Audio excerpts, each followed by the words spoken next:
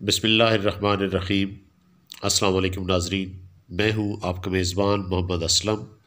आप देख रहे हैं मेरा माजी, मेरी ताकत यूट्यूब चैनल। नाजरीन, आज की वीडियो जो है वो आप सब के लिए बड़ी अहम और बड़ी ख़ास वीडियो है।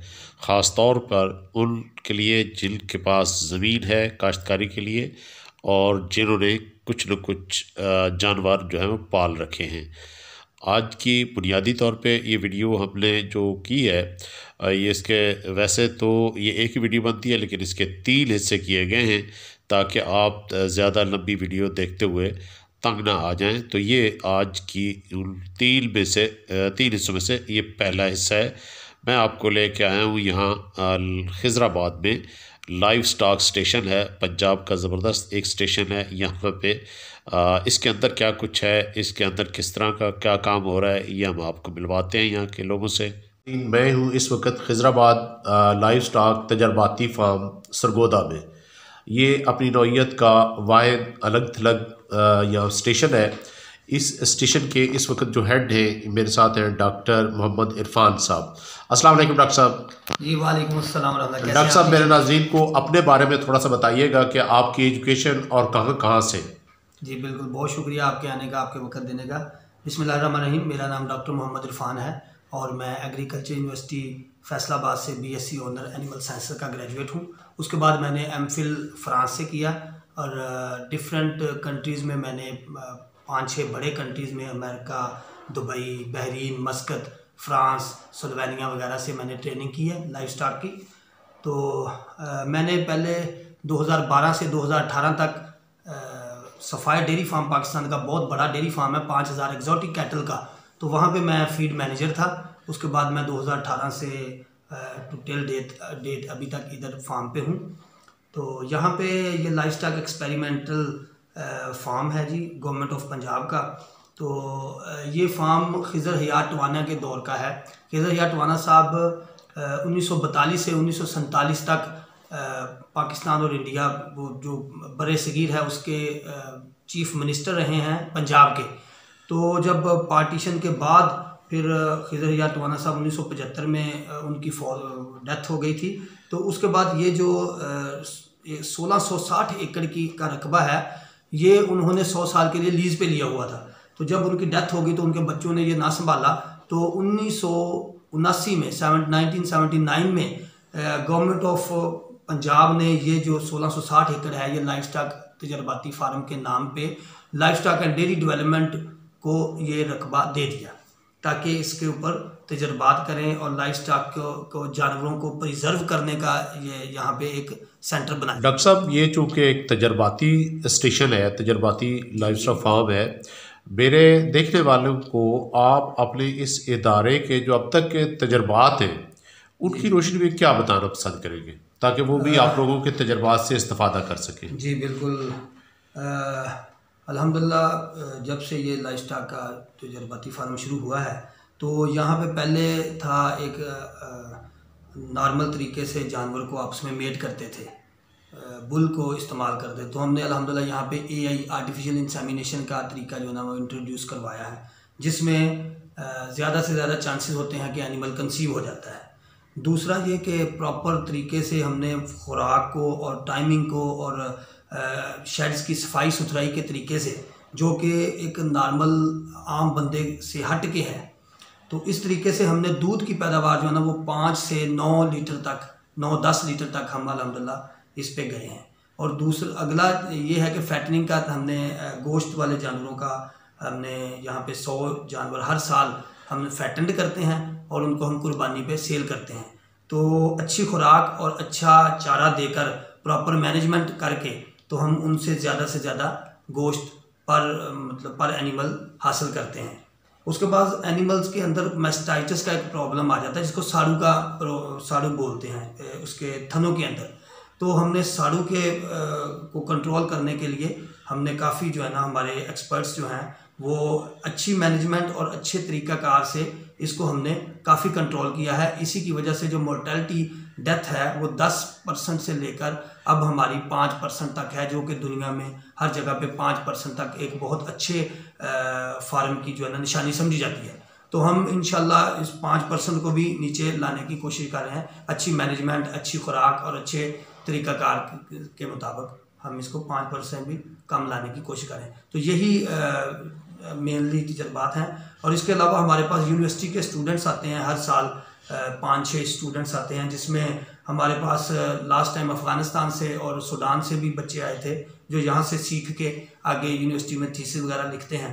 तो वो भी आके अपने अपने तजर्बात करते हैं, जो जो उन्हें मतलब एक्वायर्ड उनका थीसिस होता है, उसके मुताबिक वो इसको यहाँ पे आके वो काम करते हैं। सब खजराबाद लाइफ स्टॉक तजर्बाती फार्म के अंदर कितने डिपार्टमेंट हैं?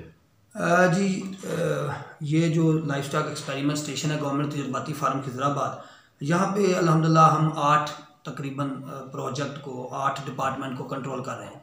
सबसे पहले एडमिनिस्ट्रेटिव डिपार्टमेंट है जिसमें हमारे पास अकाउंट्स ऑफिसर है फाइनेंस ऑफिसर है एग्रीकल्चर ऑफिसर है वेटनी ऑफिसर हैं सुपरवाइज़र हैं स्टोर ऑफिसर्स हैं कंस्ट्रक्शन का काम है। तो ये एक डिपार्टमेंट मतलब जो हम सबसे पहला एडमिनिस्ट्रेटिव डिपार्टमेंट है। उसके बाद हमारे पास इंटर्नशिप एंड कम्युनिटी डेवलपमेंट का एक प्रोग्राम है। यहाँ पे हमने एक लेक्चर रूम तैयार किया हुआ है। वहाँ पे हम कॉन्फ्रेंसेस लेक्चर्स और किसानों को बुला के हम उनको बताते हैं कि तीन तरह के काम यहाँ पे हम उनको सिखाते हैं। सबसे पहला ये है कि वंडा कैसे तैयार किया जाए और वनडे का किस तरह से अफादियत क्या है।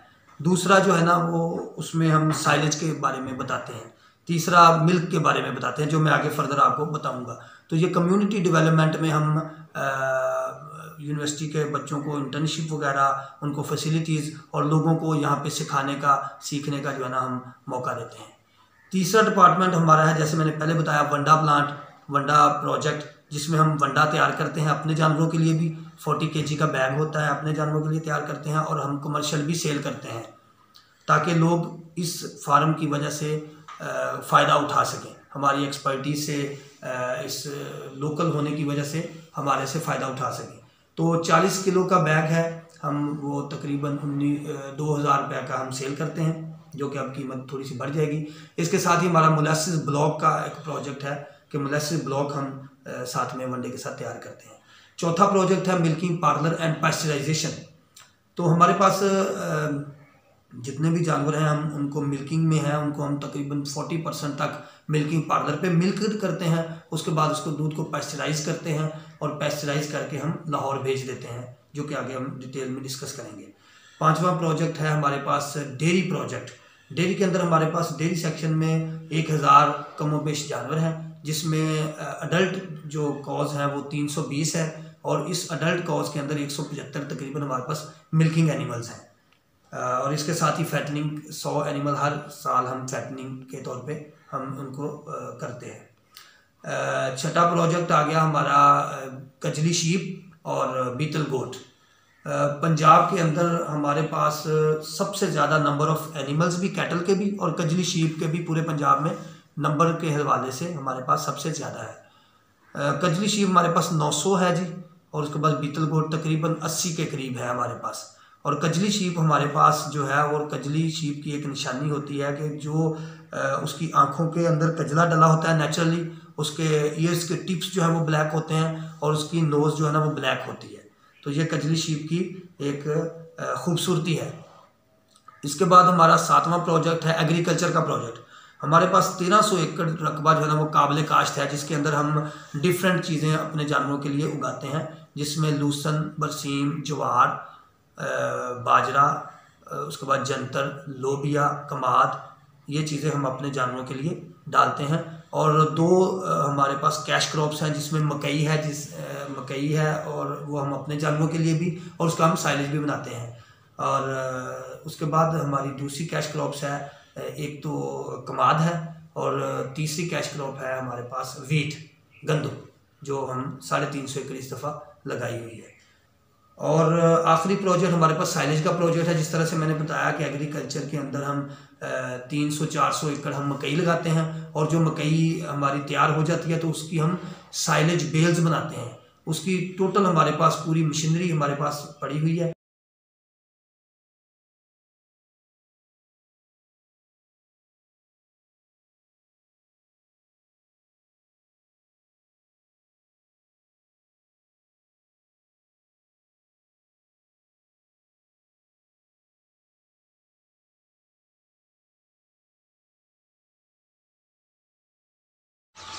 ये हमारा एक प्रोजेक्ट है मिल्किंग पार्लर एंड पास्चराइजेशन। ये 2020 में तुर्की के तावन से ये हमने तैयार करवाया और इसका अफ्ताह किया है सरदार हसनैन बहादुर दिश्क, जो कि लाइफ स्टाक मिनिस्टर हैं और इसके अफ्ताह में सरदार हसनैन बहादुर दिश्क साहब आए और उसके बाद तुर्की के सफ़ीर आए एहसान यरदाकुल साहब और नदीम अफजल चंद साहब आए, जिन्होंने इसका अफ्ताह किया। ये हमारे पास मिल्किंग पाउडर है, इसमें डबल टेन है टेन इधर जानवर लग जाते हैं टेन इधर लग जाते हैं। तो हम एक टाइम में बीस जानवरों का मिल्क जो है ना, वो निकाल लेते हैं और अल्हम्दुलिल्लाह हमने तकरीबन चालीस परसेंट तक मिल्किंग जो है ना, इस मिल्किंग पार्लर से शुरू की हुई है और पूरे पंजाब में जितने भी फॉर्म हैं अल्हम्दुलिल्लाह हमारे पास ही ये सुबह शाम मिल्किंग पार्लर फंक्शनल है। तो ये साइवाल कैटल के लिए पहली दफ़ा जो है ना हमने ये पूरे पंजाब में अलहमदिल्ला हमने फंक्शनल किया है मिल्किंग पार्लर ठीक है जी? इसके बाद दूध जो है यहाँ से आके पाइपों के ज़रिए से ही मिल्किंग चिलर में जाता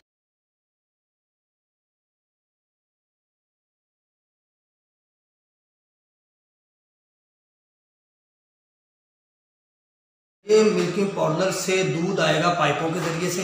हम यहाँ पे दूध कैंस में रख लेंगे। और कैंस में वेट करके हम इस बॉइलिंग टैंक के अंदर डालते जाएँगे। अब ये बॉइलिंग टैंक है, ये इस तरह से बना हुआ है कि इसके अंदर आप देख लें कि ये वॉल्स हैं, मोटी वॉल्स हैं। इस वॉल्स के अंदर ऑयल चल रहा है, गर्म ऑयल वो गर्म ऑयल किस तरह से होता है?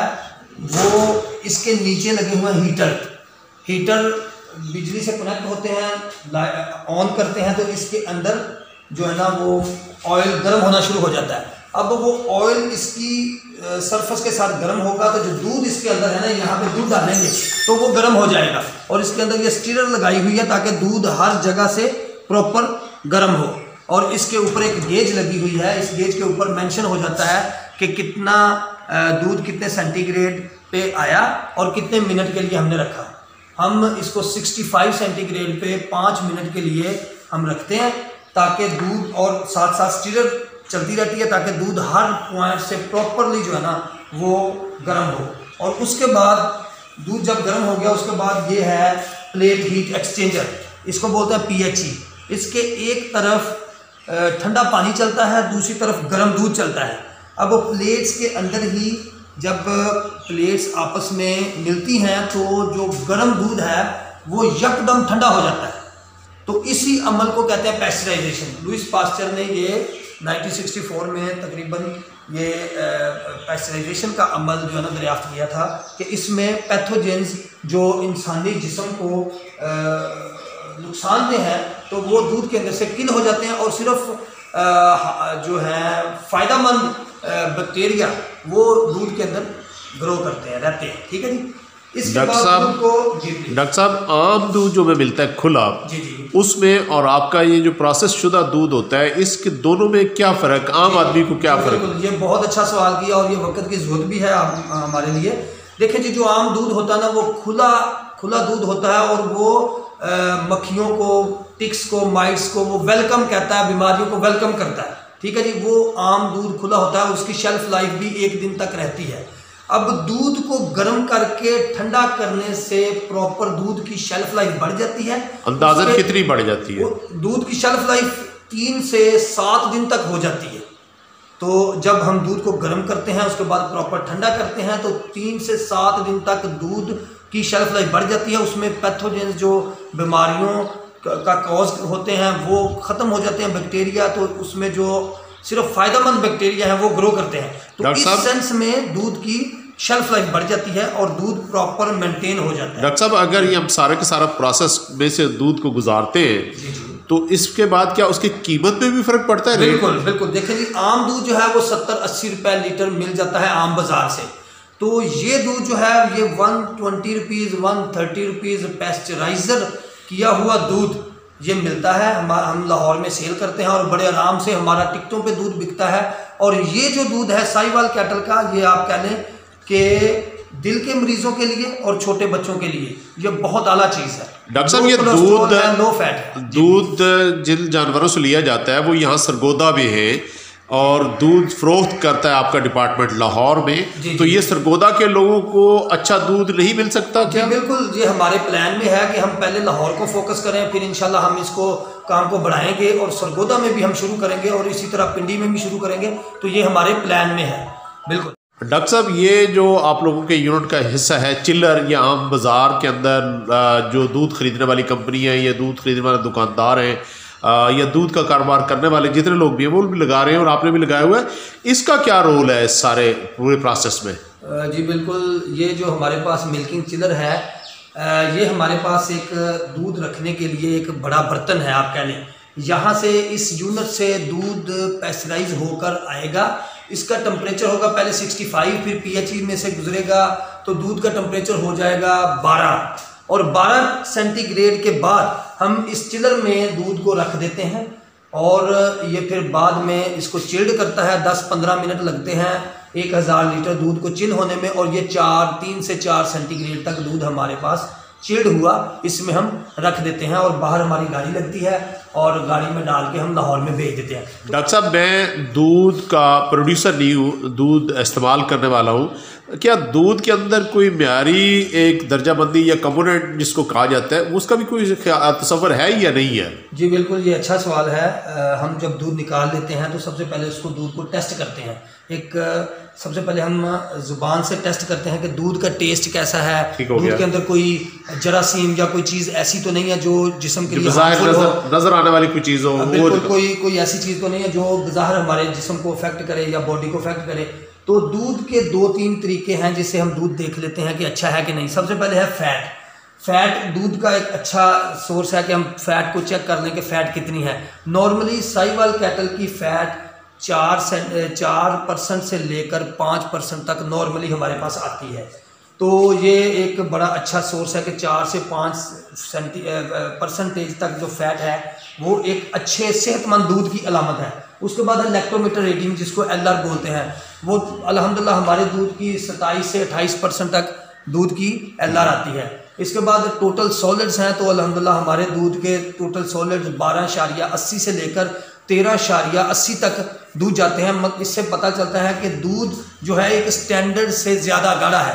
तो पाकिस्तान में तेरह परसेंट जो दूध है, ये एक स्टैंडर्ड समझा जाता है कि ना ज़्यादा गाढ़ा है, ना ज़्यादा हल्का है। तो हमारा दूध जो है वो तेरह परसेंट से भी ज़्यादा गाढ़ा है अल्हम्दुलिल्लाह और ये छोटी सी एक लैब है जहाँ पे हम फैट एलआर और टोटल सॉलिड्स वगैरह हम निकालते हैं। ये किस चीज़ का सेक्शन है? अ, ये जी हमारा वंडा सेक्शन है।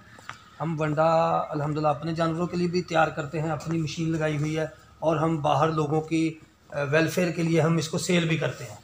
यानी जो जो जानवरों की खुराक है जी बिल्कुल बिल्कुल वो जो बाज़ार से लोग खरीदते हैं। जी बिल्कुल। हम हम यहाँ पे खुद हर चीज़ खरीद के अच्छे इंग्रेडिएंट अच्छी साफ़ सुथराई तरीके से हम इनको खरीद के तो हम खुद अपना वंडा तैयार करते हैं।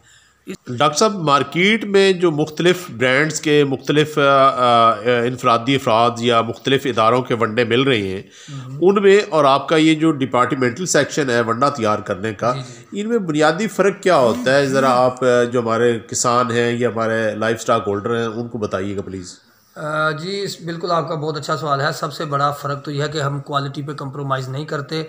उसके बाद जो टॉक्सिसिटी है किसी भी इंग्रेडिएंट्स की हम उस पर कंप्रोमाइज़ नहीं करते। तो ये दो चीज़ें बुनियादी हैं कि हम साफ़ सुथरा इंग्रेडिएंट खुद ख़रीदते हैं और उसकी टॉक्सिसिटी के लिए हम लेबॉर्ट्री में हम चेक करते हैं। तो ये दो चीज़ें ही हैं जिनकी वजह से हम वनडे को कंट्रोल कर सकते हैं और इसमें से बिल्कुल जो एनिमल को हेल्दी चीज़ें हैं वो हम डालते हैं, जिसमें मकई है सोयाबीन है सोयाहल्स हैं, कुछ प्रोटीन के हैं, कुछ वाइटामस के सोर्स हैं। तो ये मैं आपको बता रहा था पहले कि ये हमारा, आप इसके ऊपर फोकस कीजिएगा ये मकई क्रश की हुई है। और ये मकई वो साइज़ है जो एनिमल के ह्यूमन को चाहिए, जो एनिमल के मैदे को जो साइज़ चाहिए। अगर इससे ज़्यादा क्रश की हो तो वो एक किस्म का आटा बन जाती है और वो एनिमल के मैदे के अंदर बैठ जाती है, जो कि हमें कबूल नहीं है।